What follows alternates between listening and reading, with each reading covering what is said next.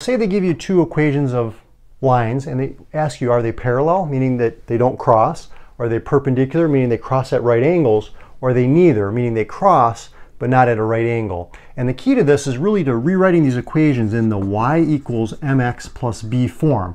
Then the number that comes in front of or to the left of the x, that's your slope. If they have the same slope, they're parallel.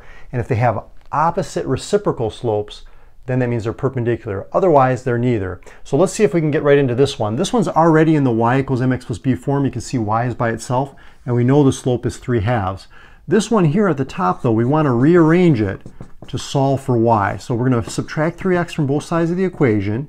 So we have negative 2y equals negative 3x plus 6. We're going to divide everything by negative 2 because we want to get y by itself. And you can see we get y equals 3 halves x minus 3. So that number to the left or in front of the x is the slope. You can see these have the same slope, different y-intercepts, so they're going to be going up at the same rate and they're not going to cross. So these are going to be parallel lines. Okay, example two here, you can see the second equation is already in the slope-intercept form of the line, the y equals mx plus b, and the slope is negative 5 halves, but we want to rearrange this top equation to solve for y. So let's do that by subtracting 2x from both sides. That's going to give us negative 5y equals negative 2x plus 20. We're going to divide everything by negative 5 to get y by itself, right? So we have y equals 2 fifths x minus 4. Okay, now when we look at the number to the left or in front of the x, that's the slope. And notice uh, these two slopes, they're opposite signs. This one's negative, this one's positive and they're reciprocals of one another, meaning we flipped one of them over to get the other one. So that means that these two lines are perpendicular to one another. They form right angles or 90 degrees.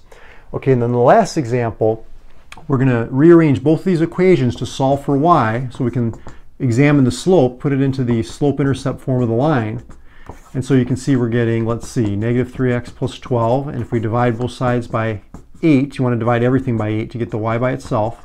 Okay, so we have negative 3 eighths x plus, if we reduce that, that's 3 halves. And you can see here our slope is negative 3 eighths. For this one, we're going to get the y by itself by subtracting 2x from both sides of the equation. So we have negative y equals negative 2x plus 7. Divide everything by negative 1, and you can see that y equals 2x minus 7. So here you have a slope of 2, here you have a slope of negative 3 eighths.